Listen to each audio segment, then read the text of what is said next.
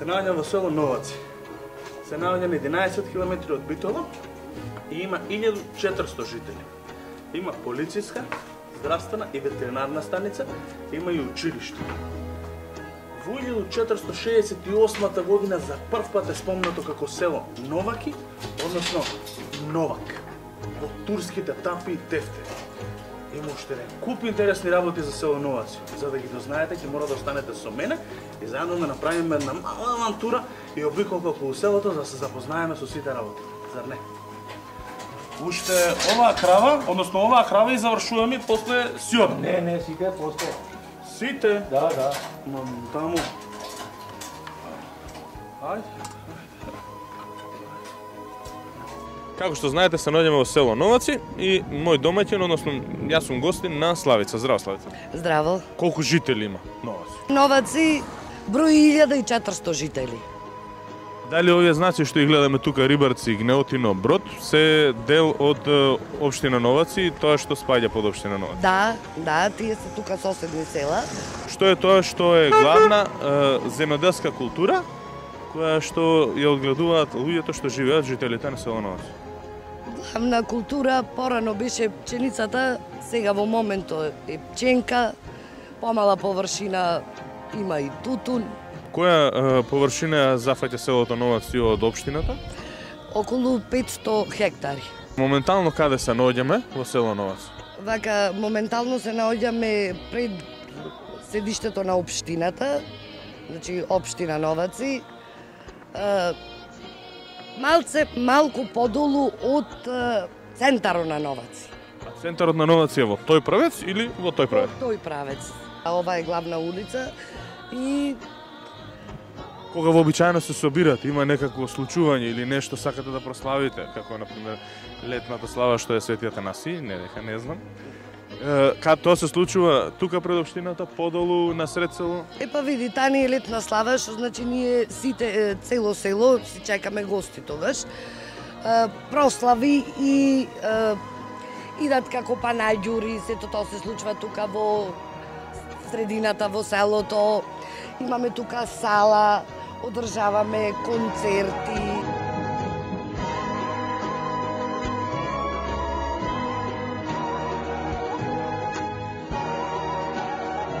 Кој е обемот на венчавки кој што ги има тука, на крштевки и колку имаме е, подмодок. Па, со оглед на она што мене ми е познато, Новаци е едно, односно најголемото рурално место во, во оваа општина, односно центарот на општината Новаци. И само по себе изобилува и со млад свет. Колку годишно има крштевки? Па, отприлика некаде околу 8 до 10. Кој е обемот на, на венчавки кој што се случува? Исто така во тој број, отприлика некаде од 6 до 8 отприлика годишно се случува. Конкретно Новаци како како како како село да речем, има една селска црква Светијата Нација Велики и манастир Света Богородица во непосредна близина тука до некаде црна. Празникот, летната слава, Светијата Наси на село Новаци. Објасните малку повеќе околу прославата. Е, Светијата Нација Велики како летна слава е исто како и на сите други места каде што се празнуваат. Секој дом е тогаш отворен, бидејќи таа е селска слава. Значи нема семејство во, во, во село кое кое тогаш не се подготвува за тој ден, може би десетина дена или повеќе пред тоа. Значи буџетот мора да биде полн за да може да се купи се што треба за секој патник, наменик, гостин, пријател и и оној кој мисли дека треба да ги посети домовите на луѓето кои го празнуваат, да го стори тоа. Значи, тие денови и тој ден е, се да нас новаци можам да кажам дека на вистина празнува така како што треба да празнува еден верски празник. Од првиот човек во општината до најмалото детенце, на тој ден ќе дојдат ќе посетат црквата, имаме богослужба и претходно вечерта. Исто така и зимшиот Светијата нас го празнуваат на еден посебен начин. Така да селото функционира онака како што треба да функционира. Во моментот се наоѓаме во казарницата на Деверми, Владе Цветковски од Новаци. Значи, функцијата му иста како е на подвижен казан, но ние што ги носат за да испречат рака емоции. Вака, томче реално ние сме од помладата популација, него како што ми кажуваете постарите.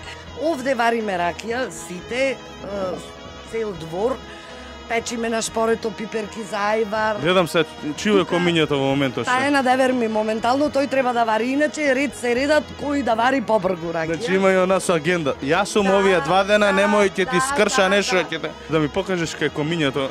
Се тебе ќе те мача малце, ама О, да го видиме. Чекај. Значи ова е лејка, лејка, Значи не е ова лејка, црпало. тоа е лејка. Да, црпало се црпи. Се црпи, се става се таму става и таму и почнува да, Да. се вари, се пали нормално. Ти си првата жена која што имам видено дека се разбира околу печење ракија. Значи не е ова лејка, тоа е лејка. Што е тоа? Поради кое што си останала во Новаци, не си отишла битола. Вака Томче, јас сум стара новачанка, значи родена сум во Новаци, живеена во Новаци, од Новаци и во Новаци, мажена. Убаво е да живееш на село, поготово во Новаци. Се има. Нема што нема, значи станваш на Сабајле, ние имаме гулаби, 70 гулаби, мажот ми е љубител на гулаби. Имаме кокошки, прасе, кучина, чуваме и е, од, од интересните кокошки. Станваш, гираниш. Кои си ти интересни кокошки морам да прашам? Па тие со поинакви пердови, мали коковчиња, украсни коковчиња. Како се стасува до Новаци? Патот за Новаци, каде? Е па вака, на, значи, идиш од Скопје на кружниот тек, го викаме тоа Дулие.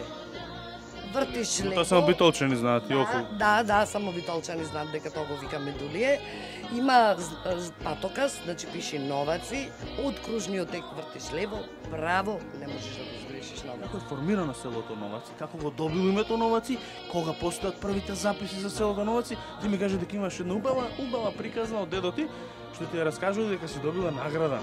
Да. Лајк еден за наградата. Да. Во, во кој? Во осмо, во шесто? Во осмо, во осмо, да, во осмо јас како мала имавме состав да напишеме за настанокот на селото Новаци. Кога се населе, населила во Новаци првата фамилија, немале име и почнале да ги викаат Новак, Новак, Новак, Новак и со името на Новак настанало Новаци. И така куќи се изградиле, има многу доселеници, има и стари новачани. Да немаш проблем да набереш туту. Не имам проблем, не, никак. Дали знаеш да нижеш туту? За- Знам, работе. Мижејки? Да. Само сега Томче морам да те попра... да те коригирам. Нема во Новаци фамилија што нижи тутун на раце. Сите нижат машински.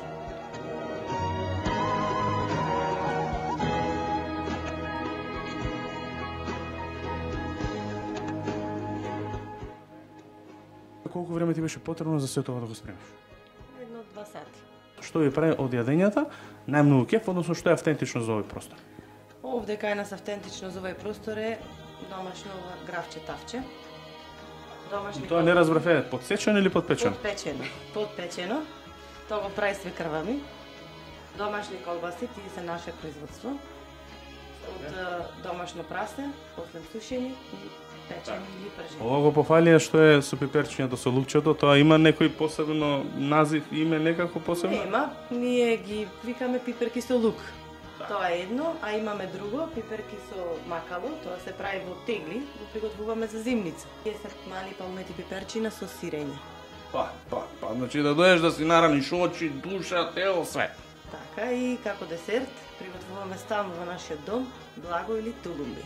Имаме културно-уметничко друштво, каде што, каде, што се дружат младите, имаме фудбалски клуб во Новаци, секоја сабота и недела, и мажи и жени кај нас во Новаци одат на фудбал. Играат или гледаат? Гледаат.